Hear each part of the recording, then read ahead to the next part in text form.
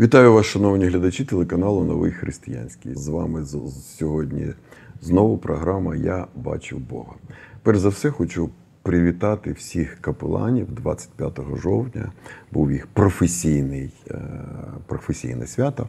І хай Бог благословить наших капеланів, хай дасть їм наснаги, сили, здоров'я, Божої охорони, мудрості, тому що вони повинні лікувати душі людей. Вони повинні надихати і давати силу для нашої з вами перемоги. Ну а сьогодні в нашій програмі дуже цікава людина. Я дуже довго хотів, щоб вона була в нашій програмі. Це волонтерка, народний депутат. Оксана Карчинська. Добрий вечір. Я радий вас вітати в нашій студії. Дякую, що ви прийшли. Я знаю, що ви дуже рідко буваєте в Києві і Слава Ісусу Христу, що в нас да. здалась така можливість, що ви завітали до нас. Е, зразу спираючись на ваші попередні інтерв'ю, е, хочу вам поставити питання. Е, з ваших же слів, ви сказали, що я людина віруюча і вірю в місію від Бога. Як так стало, що ви людина пов'язана з телебаченням багато часу? Якось так переключилися на медицину без фахової освіти, без якихось знань. Я, наприклад, закінчив там медичне училище колись, і те, що ви пишете там про температуру в палатах, про те, як треба лікувати тих, тих, тих. Ну, я дуже багато послухав. Ну ні, так я не пишу. Ну, я бачу. Не маю права. Я не лікар. Я ви не, не лікар, не але ви піднімаєте ці питання так. і так фахово піднімаєте. Як так сталося? Багато вам наказав, вибачте. Перше, знаєте, за півтора року мене, слава Богу, рідко хтось згадував, що я була народним депутатом, тому що я була народним депутатом, я не народний депутат. А, Тому що це був, ну, мабуть, найскладніший взагалі досвід мого життя. І е, мій вибір був е, на останніх виборах не продовжувати е, цю ситуацію, тому що політика це вкрай важко бути щирим в першу чергу перед Богом, тому що мене цікавить щирість саме перед Богом. А Політики вимагають завжди компроміс, їх цікавить е, сьогодні результат або популізм перед виборцями на першому місці, і тому щирості там не буває. І отак це сталося якраз ем, в самий важкий момент, один із самих важких моментів свого життя коли у мене було кілька випробувань, у мене зараз 22 переломи вже, а на той час було, по-моєму, 18 переломів. І це була чергова важка аварія. Господь мене зберіг в цій аварії. І я розуміла, що якусь місію. Я тоді дуже пишалася, що мені Господь дарував опікуватися деякими дітьми, які до сих пір з нами знаходяться вже більше 20 років. І я вважаю їх своїми дітьми, і я вважала, що цього достатньо моєї місії, що я вмію добре заробляти гроші. Я тоді генеральний продюсер телекомпанії продакшн. І я вважала, що це достатньо. А от після цієї аварії я зрозуміла, що ні. Що значить є випробування, значить я мало що роблю. І е, тоді був такий не дуже такий е, для мене непростий період. Випадково у Дмитра Санича в Live Journal і, тоді це був не Фейсбук, а Live Journal я побачила оголошення, е, що мами онкохворих діток шукають донорів. Угу. І там було півтори тисячі лайків. А я людина поза е, такими мережами в тому числі, коли я була депутатом, і е, до кінця свого скликання я не визнавала мережі, тому що це для мене там інструмент для е, підтримання своєї гордині, що є одним із самих важких прирішень і викликає там е, багато гріху. І оце з цієї гордині я якраз нічого не мала своїх інструментів, але звернула увагу, що Дмитра Санича написано, і там було ці півтора тисячі лайків. Я подумала, що там чотири мами просили допомогу донорами. Я подумала, що звичайно, якщо півтори тисячі лайків, там уже там уже донорів на чотири дитини вистачає, це був інститут рака. А е, Господь з з вами, мені так здається, що янголи з нами розмовляють якраз через наше сумління що мене не попускало. У мене в цей день було багато зйомок, я була надзвичайно зайнята, як завжди, і мене не попускали. І я все ж таки набрала телефон, набрала цих мам і спитала, донори приїхали, тому що ну півтори тисячі лайків. І вони кажуть, ні, навіть ніхто не подзвонив. Не тільки не приїхав, навіть ніхто не подзвонив. Тоді я зрозуміла штучність мереж у цих соціальних, що лайки це не значить дія. Угу. Я попросила в цей же день своїх операторів, чоловіків, там треба була не Ер-маса, там тоді було треба тромбоконцентрат для онкохворих дітей. І це треба було приїхати особисто, бути на апараті кілька годин, зробити. Ну, аналізи тоді інститут рака, на жаль, не робив взагалі попередньо. І треба було приїхати. І я була попросила своїх операторів і своїх там режисера чоловіка, щоб вони це зробили. На наступний день я знову на всяк випадок, тому що янголи, наше сумління все ж таки не заспокоюють. Вважаючи вже на той час, що я багато зробила тим, що я їх попросила, е, я позвонила знову мамам. І мами кажуть, ні, не приїхали. Я була в шоці. Дзвоню своїм хлопцям, кажу, що сталося? Я ж вас попросила, я звільнила вас від ранішньої репетиції. Е, Що, сталося? Вони кажуть, «Ан- ми не можемо подолати в собі, от набрати маму онкохвору. От ми не можемо це. Якщо можеш, поїхали з нами. І от так потім перші півроку я е, сьому ранку збирала донорів. На восьму починав донорський пункт працювати. Навіть може 7.30 починав в інституті рака. Я їх збирала по місту цих донорів, яких я шукала, і привозила в інституті рака. Я вже всіх знала. Я підходила, вже просила, щоб для цих дітей конкретно контролювала, щоб адресно для цієї дитини цей донор, тому що там бували махінації різні. І спочатку це була така донорська допомога. А потім, коли вже донорська допомога, вже все, все оточення мої були донорами, хто міг, якщо хто гепатитами не хворів. І потім ці діти, яким я допомагала, звичайно, раптом у них погіршення станом здоров'я стало. Ви- Тому що я тоді не знала, що при переливаннях донорської крові вона не перевіряється, вона перевіряється методами ФА.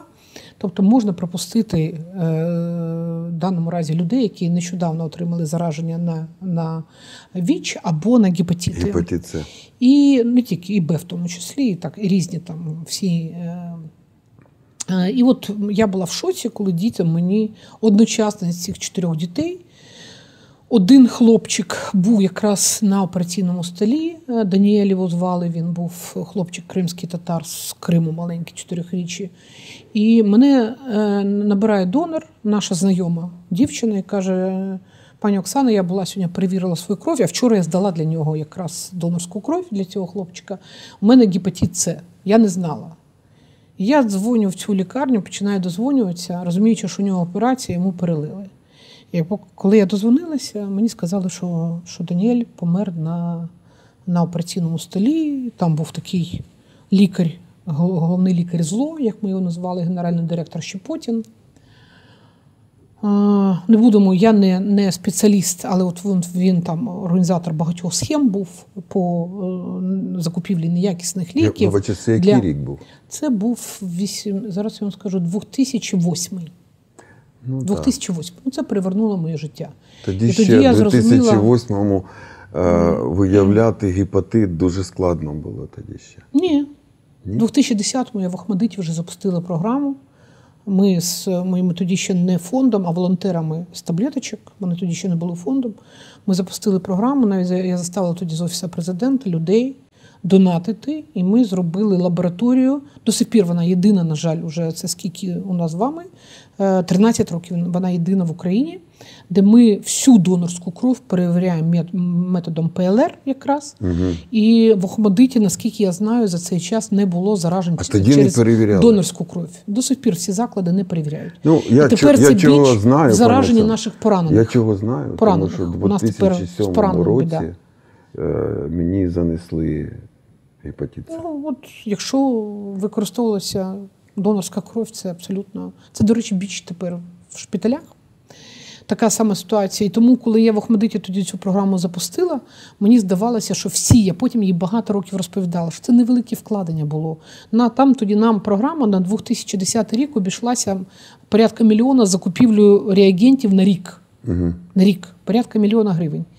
Лікування одної дитини, а я не кажу вже дорослої, коштує мінімально від 100 тисяч гривень. Від 100 по гепатитам. Я вже не кажу, якщо Тоді- це тоді- онкохвора дитина. Тоді це було від 10 тисяч доларів. Так. Да. Ну, і зараз я вже думаю, що це дорожче. І от для мене не зрозуміло, як держава до сих пір. Я її презентувала. Ми ці програми мозу презентували. Уляна Супрун намагалася це все загітувати, е, комунальні заклади робити по Україні, тому що наш досвід позитивний. Тобто це не велике. Причому це обладнання нам потім знадобилося на ковіді. Тому що у нас в Охмадиті не було проблем, бо у нас була ПЛР лабораторія. І ми могли собі це дозволити, тому що нам не треба було відкривати Америку, тому що це було запущено навіть в таких речах, тому що це було важливо було. І і тому ну, для мене дивно. Е, я сподіваюся, що зараз західна українська там дуже прийшов е, теж толковий е, новатор, головний лікар, пан Кизима, він з молодою молодий онколог.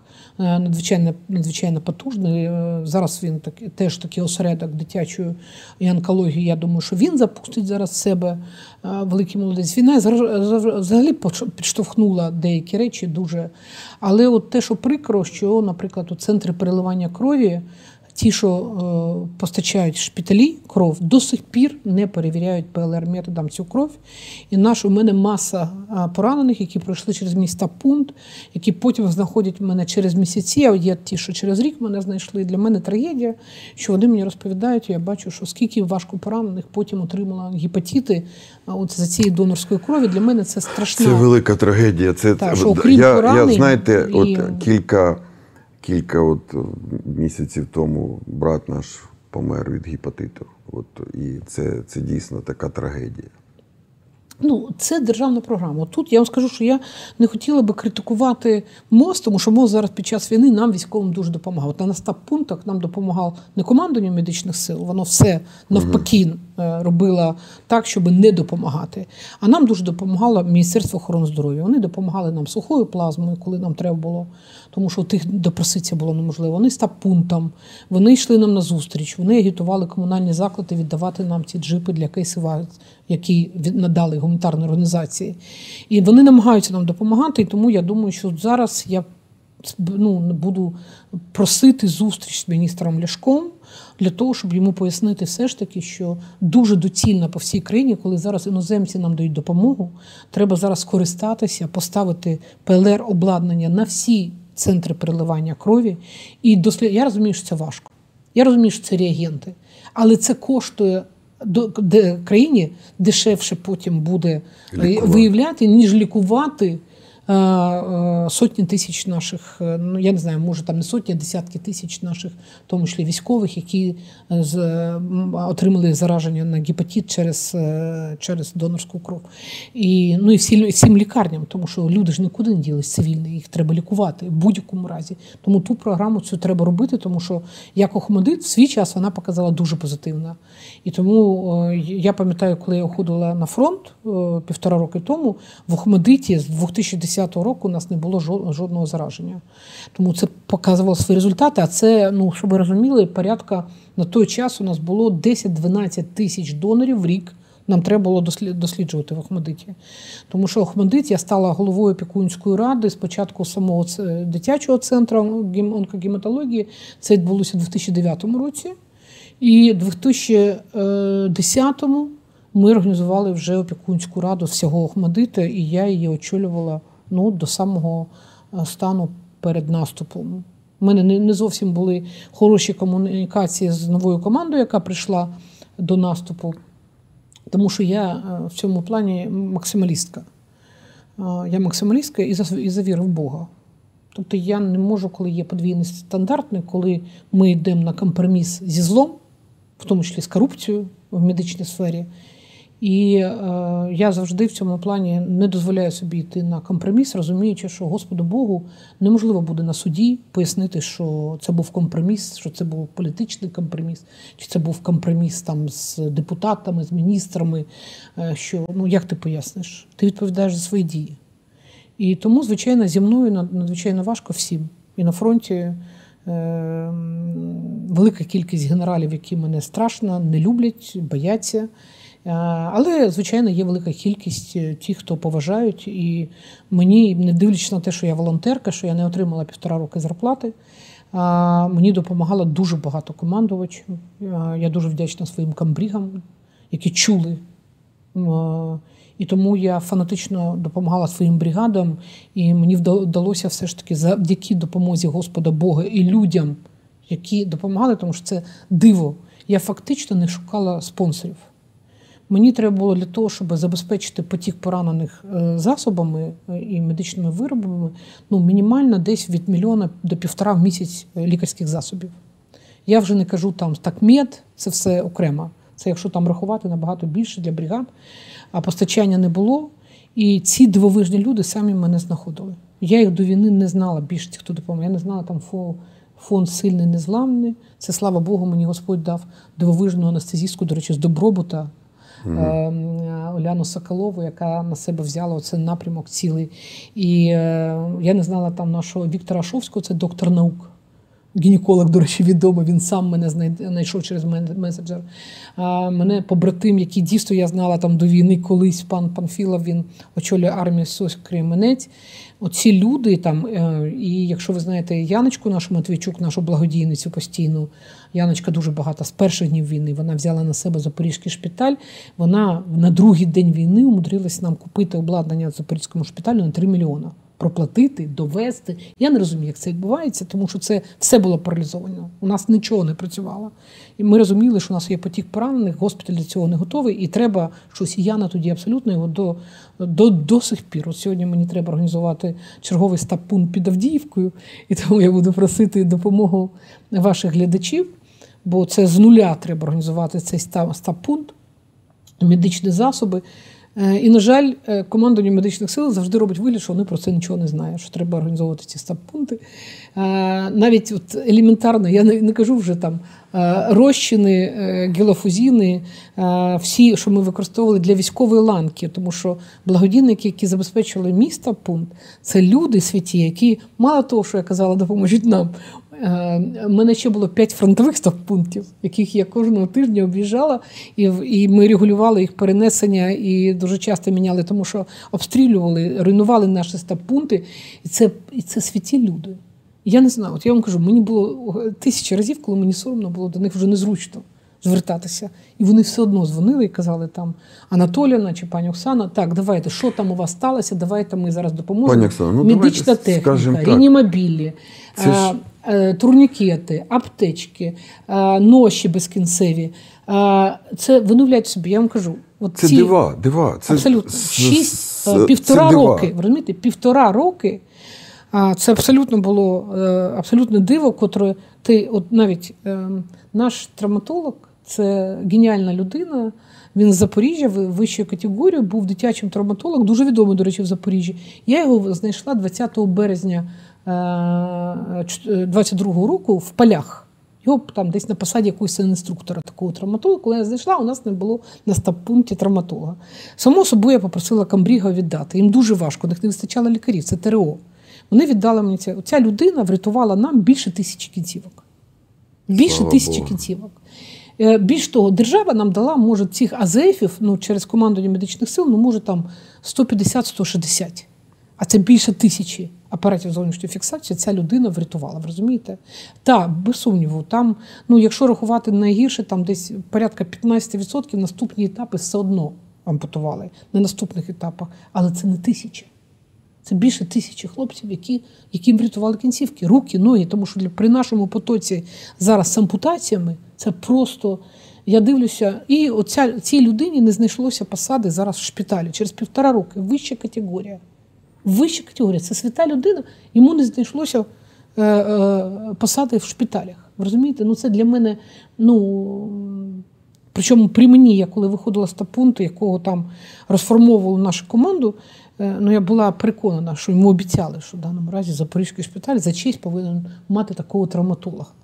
Тому да будь-який шпиталь, будь-які лікарні, це, ну, це людина, на жаль, фантастичного досвіду, тому що це війна. І він зараз в своїй бригаді ТРО. От її перемістили, і він в бригаді ТРО. Для мене Хто оця він там? травматолог, травматолог, але в бригаді ТРО. Ви розумієте? Ну, це для мене якийсь нонсенс, тому що е, це так само, як я по всьому фронту шукала судинних хірургів, тому що це дійсно травматична ампутація, це єдина можливість цю кінцівку зберегти. Іноді це накладання цих тимчасових шунтів. І е, добивалася від командира. У мене був святий, е, у мене чудовий був командуючий. Мені поталанило на початку війни. У мене був такий генерал-лейтенант Кравченка. Володимир Анатолійович, це дивовижна людина. Він очолював свій час. Я його знала з 15 року. Він тоді ще допомагав нам з ну, з Дебальцева. Дуже мужня людина. І військо і це ну, фронтова, це фронтовий генерал. Він очолював ОС свій час. І ця людина дуже нас чула. Ну, надзвичайно, в мене з ним постійно. І ви розумієте, да, як нестандартна ситуація. Е, е, в тебе е, в секторі знаходиться не просто волонтерка, а Корчинська. Жахлива Корчинська, з котрою там характер. Е, Командуючий, звичайно, мене знав. Е, У нас були дуже важкі часи, коли нічого не було, і треба було все з нуля організовувати. Це ж не 100 пункти, які ми організували в ОС. Все, що мені треба було допомогти, він в цьому допомагав. І ми з ним планували. Він мені казав, що був начмет сектора, е, там, полковник Нічипорук, великий теж розумниця, який завжди був на боці військ. І де би хто там не казав, він завжди був на боці військ, завжди їх захищав, тому що він розумів, що їм найважче. Що госпітальна ланка важко, але по зрівнянню з військами, ті, що в окопах не окопані в цих страшних умовах під цілодобовими обстрілами, е, мені з ними працювати було за честь. Вони чули. Більш того, було планування. Ми розуміли, які у нас можуть бути, які у нас можуть бути бойові дії, які контрнаступи. Чому зараз, через півтора роки війни, неможливо передбачити, чи як от рік тому е, я до депутатів звертаюсь до всіх, кажу, будь ласка, нам треба санітарно броньовану техніку. Це літо 22-го року. Ми не витримуємо, нам не вистачає. У нас поставили ТРО-бригади по лінії, у них взагалі не було техніки евакуації. Взагалі. То вони вийшли голі і босі. Нам треба броньована техніка. Реанімобілі добре, ми вже волонтери діставали там як могли. Е, тільки через півроку командування медичних сил робить замовлення. Американці кажуть, ще влітку минулого року, сенатори, що без проблем ми дамо, тільки замовте. Замовлення вони отримали тільки на там в кінці 22-го року або на початку 23-го року, і воно потрохи щось там починає поступати. Де логіка?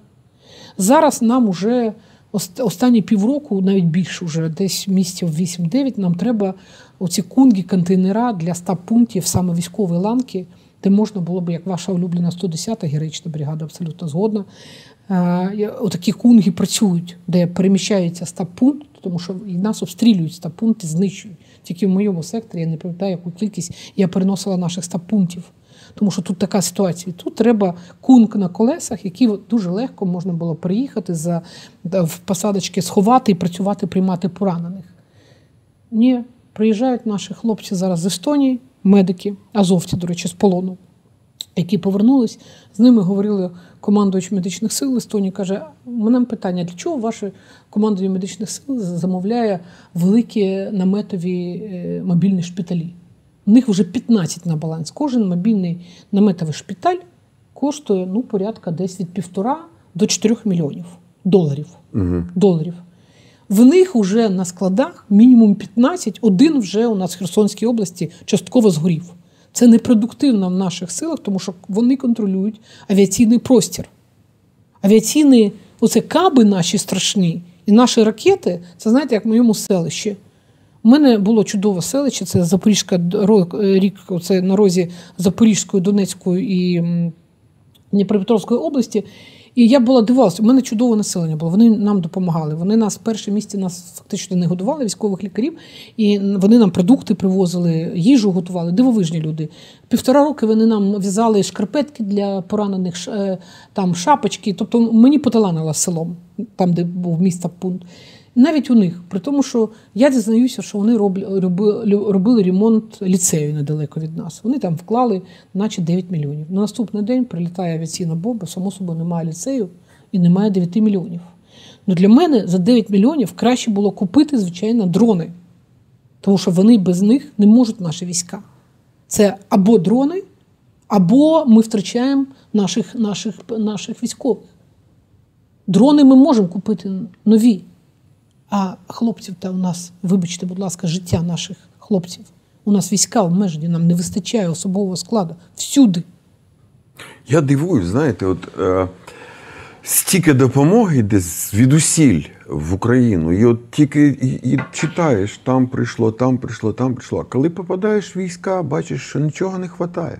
Всього не вистачає. От ви багато писали про те, що аптечки не, неякісні, про те, що нема реанімобілів нормальних нема. Кейси-ваків, особливо кейси-ваків. Для нас от кейси-вак це оці джипи. Джипи. Санітарні джипи це для Ну нас да, щоб можна санітарна вивезти. броньована техніка, тому що ми втрачаємо наших поранених, ми втрачаємо наших медиків. Тому що е, проблема в тому, що система до сих пір через півтора роки дозволяє відправляти кваліфікованих лікарів, навіть висококваліфікованих, як евакуаторів, як бойових медиків. Тому що бойових медиків ми готуємо ну, умовно І за на 20, простих машинах, не на броньованих- 27 не на броньованих вже машинах. А вони. відправляють лікарів на евакуацію, людей, які вчилися від 6 до 11 років. І у нас зараз є бригади, котрі просто, ну, просто катастрофа. Не вистачає лікарів, не вистачає медиків. Бойових медиків ми вчимо, і це безкінцевий е, процес повинен бути.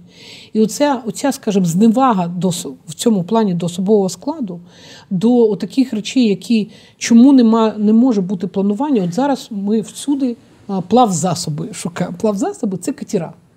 Ми шукаємо катера волонтерські і, і благодійні фонди, катера для, як, для форсування річок. Ну, що наш генеральний штаб і наша логістика, і міжнародне відділ, відділ, відділ е, Генерального штабу і Міністерство оборони не знали, що нам треба для форсування річок. Вони не розуміють, що нам треба катера для здійснення морських операцій. Да знають вони все. Ну, ну як, чому ми їх не замовляємо? Я дзвоню волонтерам в країни, які зараз шукають ці катера. Вони кажуть, да от у нас посольство нещодавно пропонувало вам там три місяці тому, півроку тому. Вони пропонували включити гуманітарну допомогу. Не було замовлення, тому що нам треба професійні. Тобто ми намагаємося, от зараз ми там намагаємося щось там, е, якусь капсулу, якийсь там катер помістити і все решта. Е, Ми знали чудово, що у нас буде цей виклик. Ну, вони запізнюються кожен раз на півроку. Оці командування, ці чиновники. Тому що це чиновники, тому що вони бояться, вони не ініціативні. Нас цікавить, коли мені нещодавно питали депутати і казали, що ви воюєте там з пані Остащенка, з командувачкою. Я не воюю з пані Остащенка, вона мене особисто абсолютно не цікавить.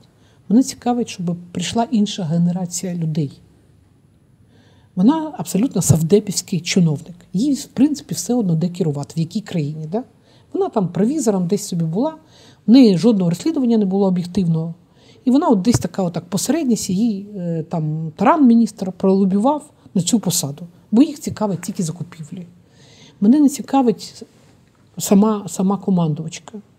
Більш того, коли мова йшла про її зняття з посади, і я почула, що там є альтернативи, такі самі солдафони із тої самої пліяди, савдеповських у таких людей, які, які не, не будуть жити військами, які будуть тільки для галочки от робити. От для мене саме страшне, що через півтора роки ми не оновилися.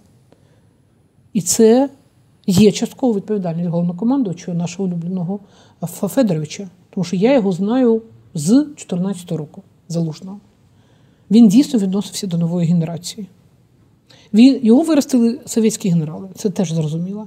Але він надзвичайно комунікабельний. Його позивний був волонтер. Ми його назвали волонтером. Це людина, котра ну, була, я вам скажу чесно, я взагалі була здивована. Мабуть, єдина людина, котра, коли я кричала, я на нього дуже багато в свій час кричала, і, мабуть, він цього мені не може пробачити, тому що в мене вічно з його ока не довідки про обставини поранення не, не надходили. Угу.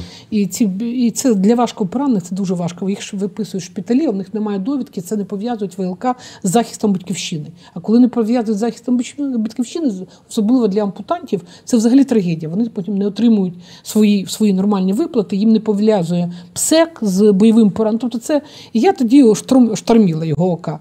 Ну я вам скажу чесно, він абсолютно, якщо там інші генерали ображались, він абсолютно був, ну. Каже, Анатоліна, ну потім обнімемося в саду, поцілуємося. Ну, це він такий, от. І я сподівалася, і зараз сподіваюся, що він все ж таки візьме відповідальності на оновлення керівного складу. Тому що це повинно бути. На початку війни все можна було зрозуміти. Чекали, не чекали, Ну, не вже були 20 готові. місяців. Вже да. Але вже, ну вибачте, будь ласка, півтора року, 600 днів. Це вже, вже той час, коли ми повинні оновити, тому що у нас вирісла за час АТО ОС і зараз цієї війни пліяда кращих командирів. Так, вони не завжди зговорчиві, це, прав- це правда.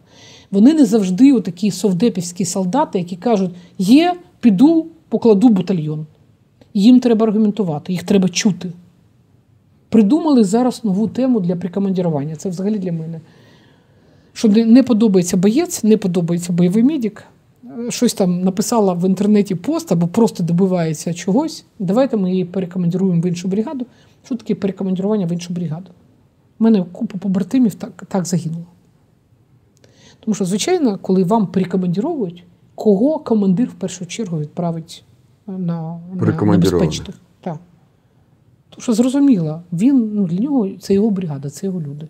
Якщо в нього є прикомандіровані, він в першу чергу їх відправляє. І в мене так загинуло не тільки у мене, в мене у близьких. Навіть у дуже відомих близьких загинули так, так, так, так близькі. Пані Оксана, ну я е, вам скажу так: слава Богу, що ви знайшли свою місію тут, тому що такий ваш голос потужний в нашій медицині це дуже важливо зараз, особливо. І я гадаю, що і тоді це було важливо. От, е, а скажіть, от, будь ласка, ну, в контексті свята Дня Капелана, А, так, звичайно.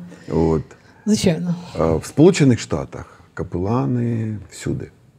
В Конгресі, в Сенаті, в ФБР, в кожному госпіталі, в кожній лікарні є капелан. Раніше ж ніхто не приділяв уваги психічному і психологічному здоров'ю людини. Да? А зараз на це лікарі звертають увагу. Якщо у людини є настрій вилікуватись, то вона вилікується. А якщо нема, то не вилікується. От е, як ви вважаєте, зараз капелани в лікарнях, госпіталях повинні бути? Да, звичайно, без сумніву. По-перше, я всіх отців, всіх пасторів, е, всіх е, вітаю е, з святом, котре відбулося. Е, Ми вас дуже любимо, цінимо і дякую, що ви є, тому що мені б теж дуже важко було б витримати без капеланів. Е, Так сталося, до речі, що на початку цього наступу моїм духовником був пастор, пастор Андрій. Єрохін з Запоріжжя, і він витримав зі мною дуже важкий період. Це, це а, початок війни, і це перше відкриття першого моста пункту Оріхова. Якраз місяць я була тоді з Давінчі. Там Давінчі підрозділ діяв. Я жила між шпиталем Запорізьким і базою Давінчі.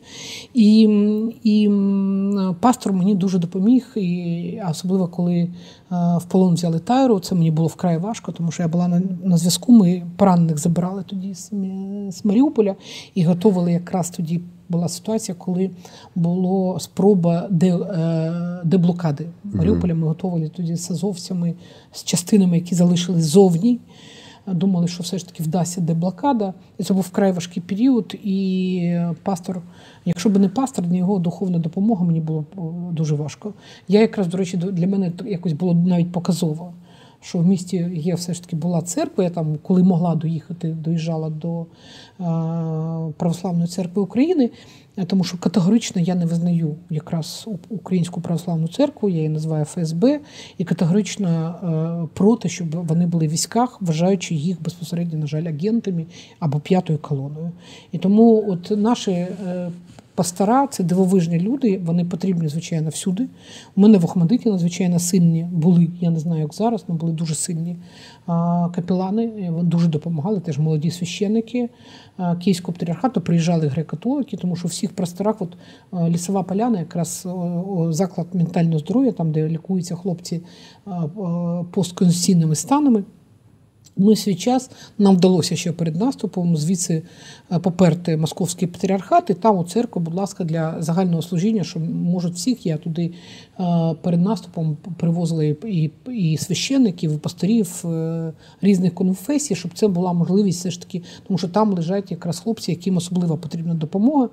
І, звичайно, потрібні. Потрібні. Єдине, що заклади, вони, я їх розумію, вони хочуть міжконфесійні речі робити, тому що дуже важко віддати одній конфесії, якщо там хлопці з різних конфесій. Та? Але це залежить від священника або від пастора. бу- бу- бути якесь, знаєте, таке навчання, щоб е, не було віддано ніякій конфесії владу, да? як от в Америці є. Ну, в Америці ж там, знаєте, різних конфесій, але це не відчувають люди, яким служать капелани. Так, так, звичайно, але без сумніву це надзвичайно важливо, тому що важливо, це важливо для мене особисто. Це надзвичайно. Навіть коли нас знайшов, мені було дуже важко. У нас в селищах, е, тому що я ж кажу, навколо мене були донецькі села, е, запорізькі, і у нас не було е, ПЦУ взагалі аж до Запоріжжя не було ПЦУ. І нам було дуже важко під час потоку вириватися. І е, коли приїхав до нас отець Олександр Грекатолик, до речі, він якраз перед тим з окупованої території вийшов, сам з Мелітополя, україномовний села. Я навіть не знала, що під Мелітополем україномовні села, дивовижний священник. З... І він до нас приїжджав кожну неділю. Це якраз сталося момент, коли ми були під час контрасту, ми страшно виснажувалися. І мені здавалося кожен раз, коли він приїжджає, що в мене будуть поранені. Я завжди казала, отче, ну тільки якщо ви приїдете, ви ж розумієте, що поранені на першому місці. Так що ви думаєте, скільки разів не приїжджав, саме в цей момент не було поранених? Уявляєте собі? Це диво. Це От уявляєте собі, скільки разів? От я, я не знаю, як це. Причому навіть коли він переносив, бо це як ну це по-іншому пояснити собі неможливо. Але тим не менше дуже мало людей брало в службах. Це для мене ос- особливий, мабуть, біль, що війна все ж таки не, не приводить, або дуже невелику кількість приводить до Господа, у котрих сталися дива, ну скажімо, позитивні. Так? Ну- Це біль, котрий відчувають хлопці, тому що ем, це, ну, це дійсно, у мене теж не вистачало слів. У мене дуже багато було хлопців, яких привозили в гострій реакції на стрес, це коли розривала побратимів на очах. І от в цей момент мені дуже не вистачало, щоб саме на стаб-пункті був капелан. Тому що в мене були чудові, фантастичні анестезіологи, хірурги. У мене взагалі команда була, це моя родина, півтора роки, це одна із сильніших на фронті, я вважаю. Невропатолог чудовий у нас був. Я ж кажу, чотири кандидата наук. Абсолютно реалізовані люди, відомі, жили за кордоном, викладали за кордоном, і вони пішли на фронт. Але от в такі випадки, коли це мені дуже не вистачало капелана. І взагалі я вам скажу, що у мене була така криза, що ми врятували більше 15 тисяч наших захисників і цивільного населення на стаб-пункті ну, за півтора роки. А, а от е, коли мені скажуть, кого ми привели до Господа, от я мені важко сказати.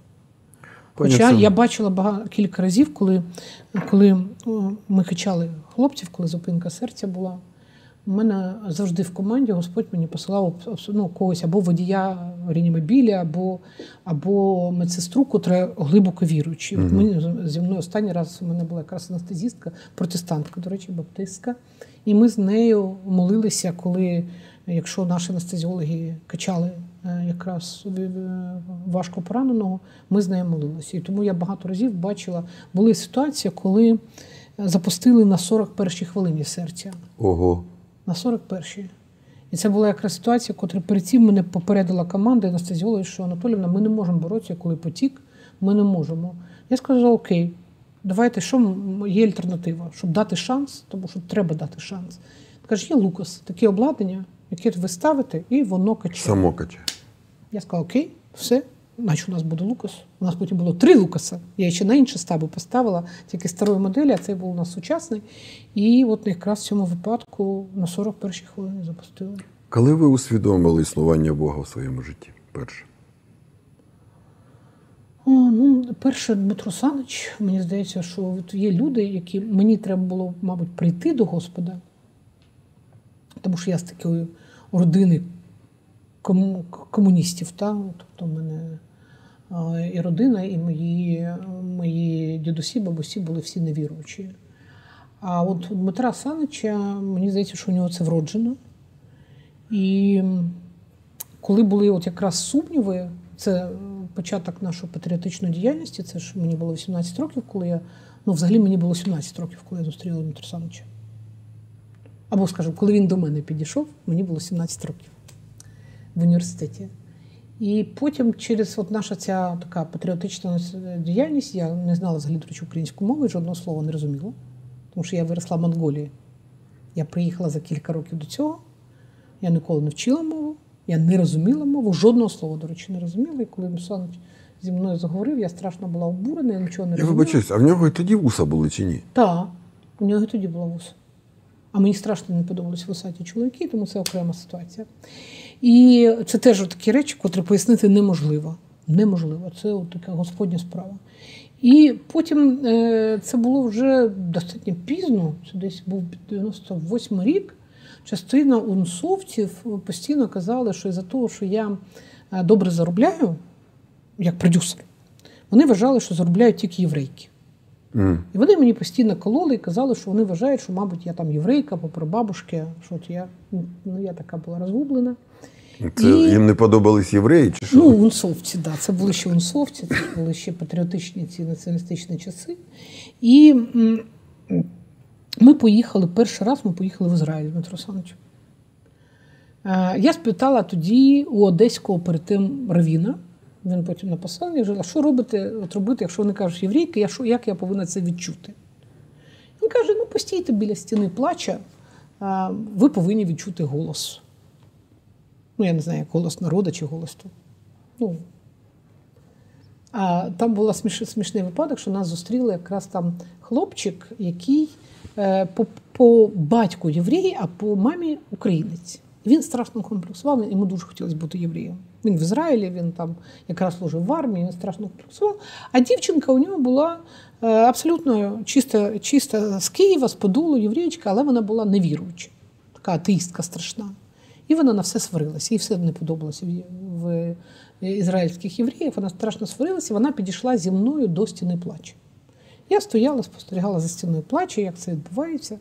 Я не тоді не молилась, тому я не, не, не, не молилася, я просто стояла, дивилася, якось я намагалася по-своєму там звертатися до Всевишнього. І поки я стояла, це тривало кілька годин. Я спостерігала це, ну так, типу, відчути голос якийсь. Я повертаюся, а вона постійно сварилася, дівчина. Така маленька дівчинка, ну, маленька, мається невеличкого зросту, порівняно зі мною. І тут я чую, вона замовкла. Я повертаюся, а вона отак качається і плаче. І от тоді я побачила, що таке голос. Я зрозуміла, що голос я не почула, а почула вона. Е, Я розвернулася, е, на, на горі стояв Дмитро Санич. Я сказала, Дмитро Санич, де тут церква хра- храма Господня? Угу. І ми пішли з ним в церкву храму Господня. І коли ми прийшли в, царство, в, в церкву, а я ще так, я не знала, як вона виглядає, і я чекала такі, знаєте, я до цього була в Італії кілька разів, там у Франції. І я вважала, що це якийсь великий собор, що це буде щось грандіозне, церква храму Господнього. Е, і тут серед арабського цього базару ми повертаємо. І нам кажуть, що це церква храму Господня. Я таке розчаровані, кажу, це оце церква храму Господня. Для мене це дуже страшно виглядало. А потім от відбулася така якраз ситуація, коли я зайшла, ми зайшли з Дмитро Саничем. Він перехрестився, е, почав молитися, і ми піднялися. Я не розуміла, коли. Потім я зрозуміла, що це Голгоф. Я тоді не знала. Мгм. Просто по сходам. Там якісь черги були людей. Ми піднялися. Я не розуміла, де я знаходжуся. І як Дмитро Санич описує, що я кілька годин плакала там. Не можу пояснити причини. І от так я навернулася, я зрозуміла, що, що я християнка, що Господь мене от таким чином мене привів. І от потім для мене все це було дуже актуально. Все, що зі мною відбувалося, до сих пір. Треба з терпінням, тому що зараз в мене теж не, непростий період. Мені дуже важко було у- уїхати з свого стаб-пункту.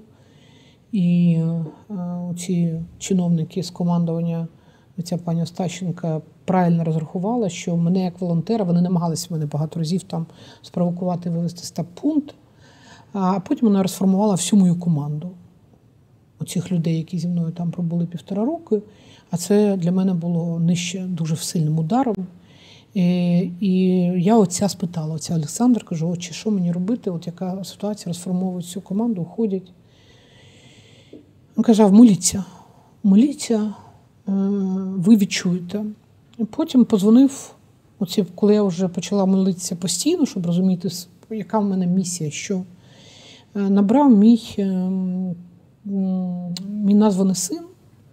Е, Він е, сам е, військовий, старший лейтенант, напівпаралізований з 15-го року. Артур Кирієв живе у Львові, сам з Донецьку, у нього немає батьків. Він був моїм пораненим у 15-му році. І Артур мене в цей момент набрав, а він волонтер і дуже багато нам допомагає всім моєму стаб-пункту, різні підрозділи. І він мені сказав: мем, не здавайся. Я сказала, сина, про що ти говориш? А він в цей час я, я перший пост написала про неякісні аптечки. І він не міг знати, що у моєї команди в мене неприємності, що почалася, е, ну, почали прес від команди медичних сил генерала Стаченка. Почався прес, і до мене дійсно підійшли і сказали, що будуть розформовувати частково, в тому числі і за мене, всю, всю команду. І само собою я хотіла відійти і сказати, що це все більше я не буду нічого писати, тому що моя команда мені важливіше, ми врятуємо ще багато людей. І от Артур. Він сказав, мем, не здавайся. Якщо ти зараз поступиш і підеш на компроміс зі злом, якщо ти зараз перестанеш про це писати, ніхто не буде писати про ці неякісні аптечки. Не будуть бійці, бойові медики писати. Я тобі кажу, як сам військовий, сам як старший лейтенант, він кадровий був військовий.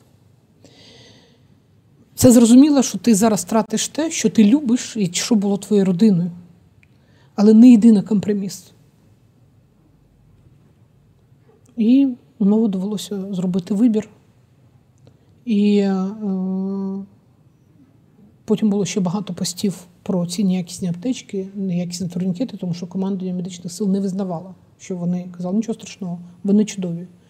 Військова служба перепорядку розслідувала все чудово. Командування все чудово. У нас хлопці помирають, стікають кров'ю, рвуться турнікети. Відео є в інтернеті, викладено, де рвуться турнікети. Мої медики свідчать і свідчать бойові медики наших стаб-пунктів, де рвуться турнікети. Вони кажуть, нічого страшного. А там ще є така страшна, це був контрнаступ. і Ми на мінні поля проходили мінні поля, і в нас евакуація збільшилась кілька разів. Зараз евакуація на стаб-пункти в середньому відбувається десь від 4 і до 19 годин. А буває, а буває, що випадки, коли середніх везуть добу. Добу. Ні про яку годину не йде мова. Чотири це найшвидше, найшвидше, коли довозять до стаб-пункту. І ви розумієте, що найважчі не можуть вижити. І в цей момент він сказав, ти повинна боротися. І нам вдалося. Нам вдалося, ми підняли скандал.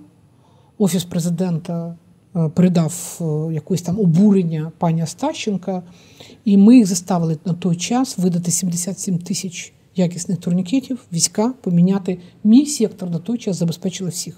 Ну, я зрозуміло, щоб заткнути мені це, але забезпечили всіх. І я коли уїжджала, зараз я розуміла, що мої забезпечені. Більше того, ви розумієте, все так було, що одна бригада моя каже, Анатоліна, у нас кровозупинні бінти, тому що я їм постійно це. І тут у мене вже і благодійники, я бачу, втомлені. І в цей момент мені відкривають, що виробник там почав робити нові гемостатичні бінти. І я згадую, що в мене був менеджер цієї компанії, коли знайомий ще по Охмадиту. Я набираю, кажу, вибачте, ви колись були менеджером, я до вас зверталася ще в опікунській раді Охмадиту. Він каже, я зараз генеральний директор цього виробництва. Я кажу, Боже, скажіть, будь ласка, у нас немає грошей, але нам треба тисяча цих гемостатичних бінтів на 300 пункта на військову ланку. Він каже, Оксана Анатольовна, післязавтра вони у вас будуть. Слава Богу, це Тому- диво. Це диво. Тому розумієте, е, окрім подяки, тим більше е, на початку війни, в перше місці, я взагалі була переконана, що ми ніхто не повернемося, і я ніколи не побачу свою родину. Дмитро Саничем я прощалася кожного вечора. І я не розумію, чому вижила я, а чому загинуло стільки моїх побратимів. І серед них більшість молодих, тому що такого, як Да Вінчі, я була переконана, що він наше майбутнє, що він оцей, знаєте, оцей правильний добровольчий дух від Бога командир, який не вчився, але їм став на фронті. Я була переконана, що саме вони продовжать, що ми загинемо, а вони продовжать нашу справу. От, оці мені, звичайно, пояснюють, що Господь, Господь не цікавиться історичним контекстом, що Господь цікавиться безпосередньою людиною, де він був дуже віруючим Бога. Ми на цю тему з ним багато про Бога говорили. Але, звичайно, е, для мене важливо, щоб все це було недаремно, як і для всіх матерів і дружин, які втратили найближче своє, тому що от єдине, що Мені у Бога хотілося б на суді спитати, чому саме вони, тому що, ну, знаєте, от в, в історичному контексті це ті, хто повинні були вести Україну далі. Ну, Дмитро Санич і капелани, і отці кажуть, що Господь Бог дасть нам інших, що це будуть теж кращі. Що і вони виросли, наші хлопчики, ну, от наш не пий пиво, наш Тарасій, наш Аполлончик і наш е, Святоша. Вони ж виросли в більшості не в християнських сім'ях, там от є е, патріотичні родини, але, але вони от прийшли Христа. Не пиво взагалі був, коли прийшов до нас, це було 13 чи 14 років тому. Він прийшов такий, знаєте, хлопчинка з оселецем, якийсь там рідна вір чи щось таке, там, не пам'ятаю, якийсь там. І, і здавалося, що це що йому важко буде до, до Бога. А Петро Сонич казав: ви ходіть на службу, Максим. Ви просто ходіть, і там Господь управить. І Максим надзвичайно був віруючим. Вони коли уходили, він якраз мене це шокувало, коли він, знаєте, це на відео є, коли він каже, це наше останнє інтерв'ю. І він навіть заповіт, що так, коли ми коли ми загинемо, нас треба так-то, так-то поховати, Господу Богу і так. Це мені було дуже важко потім, що, ну, скажімо, батьки не погодилися з їх баченням. І в цьому плані е, Дмитро Олександровича це обурює, але я своїм дітям теж всім сказала, що в даному разі от я до смерті ставлюсь настільки спокійно, що мені важливо, щоб вони знали, що нічого такого ми всі помремо. І нічого страшного, якщо родина повинна знати, що коли помре, що робити. Тому що для мене це страшний біль, коли потім родичі не можуть погодитися з волею. І от ми знали, що наші побратими хотіли би так. Навіть я дуже вдячна мамі да Вінчі, вона дуже хотіла само себе в селі в себе поховати. Я розумію її, що це її старший син, і він повинен бути. І я пам'ятаю цей важкий момент, коли Аліна набрала і сказала, що мама не погоджується. А для Вінчі, ну от повірте, він жив всією Україною. Він, ну, він по-іншому себе не бачив. У нього на фронті було все найкраще. Повинно було то це це і концерти збирали, і найкраща підготовка, і турщики повинні все для нього це було. І коли мама погодилася, щоб ми його поховали на Скольдовій могилі, для мене це було теж благословіння Господня, тому що для мене важливо, щоб на, на могилі да Вінчі наші, наші захисники приймали присягу, щоб обітниці давали, щоб молодята вшановували. Це дуже важливо, щоб пам'ять ця жила. Цей пантеон героїв в Україні за півтора роки. Я не кажу, що нам не можна забувати ще той, який з 14 року, тому що це несправедливо, коли кажуть тільки півтора року. Війна з 14 року. І ті герої, які віддали життя за Україну, там дуже багато героїв. Щоб вони всі були знані нашими дітьми, нашими онуками. Оце для мене важливо.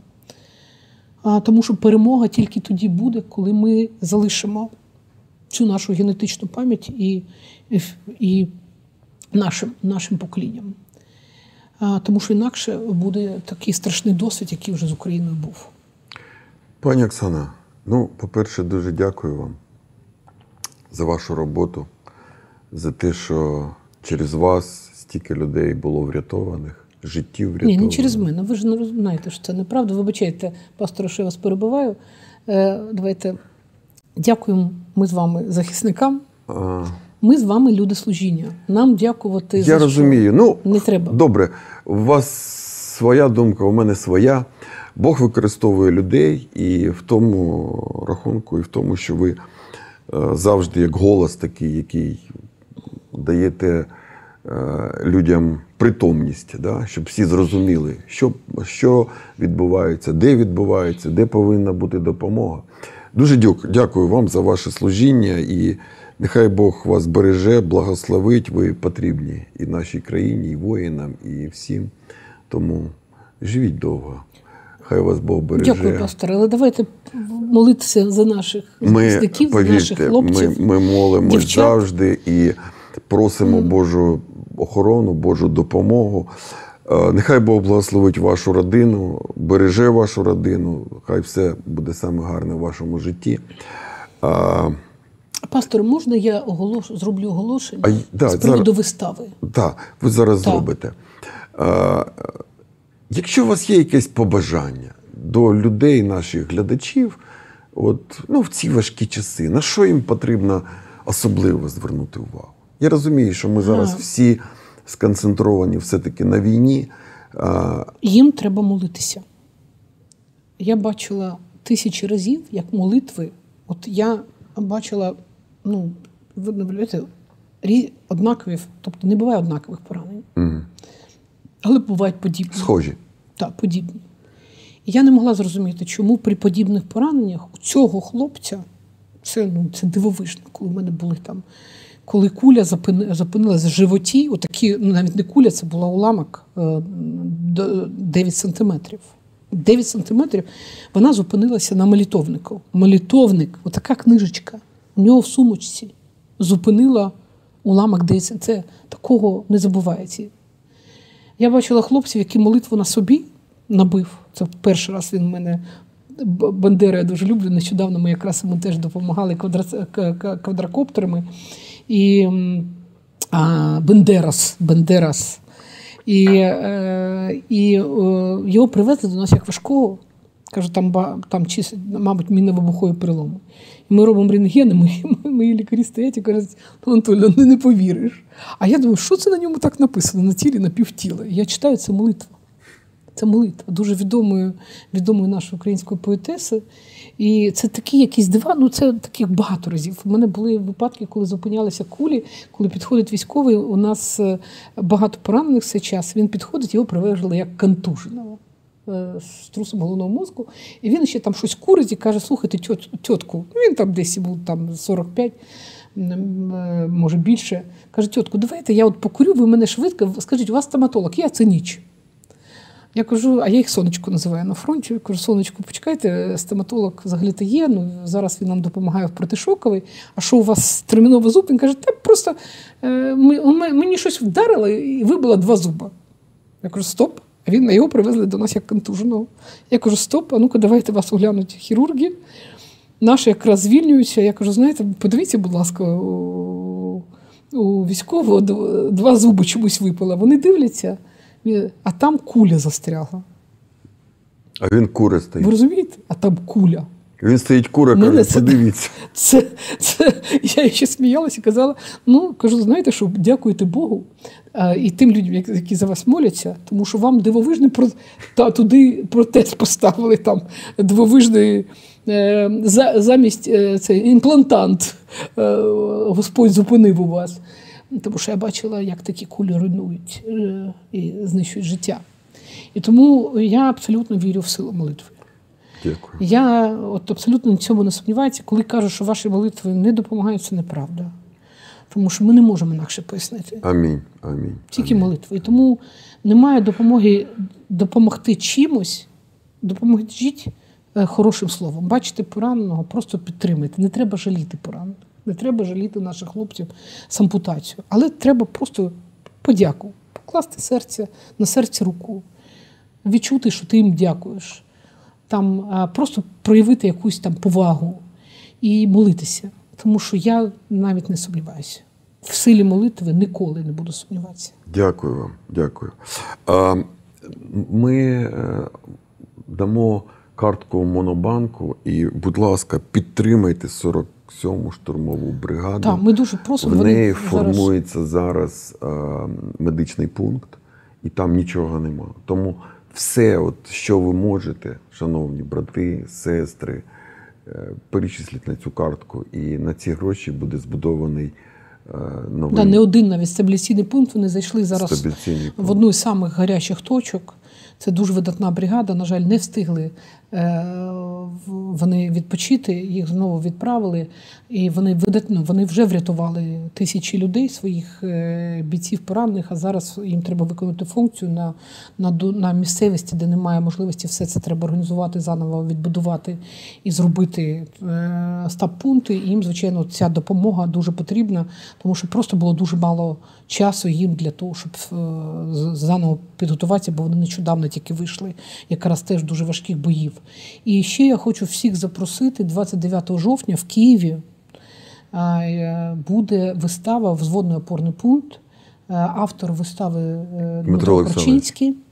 Е, Ця вистава присвячена якраз е, і прототипом головного героя є наш Да Вінчі, наш командир Дмитро Коцюбайло. Він був на прем'єрі у 19-му році, потім її кілька разів перепоставляли. Вона повинна була в Авдіївці у нього бути нова вже, коли народний артист е, пан Анатолій Хостюкоєв виставу. Вона повинна була в перші дні наступу бути в Авдіївці. На жаль, більшість акторів зараз на війні. І тому заново поставили цю виставу Назар Борошок. Вона от буде 29 числа в неділю. І гроші від цієї вистави підуть на його підрозділ е, на Вавкі да Вінчі. Це театр культ.